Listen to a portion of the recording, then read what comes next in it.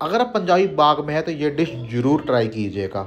Avocado से freshly made dip थी मज़ा आ गया था टमाटर, प्याज थोड़ी सी हरी मिर्च और थोड़े से मसाले डाल के इन्होंने तैयार करी थी। सेटअप बहुत ही प्यारा था। जब ये बना रहे थे तो मैं तो देख के ही मन कर गया खाने का। एंड ये हमने नाचोस के साथ पेयर करी थी।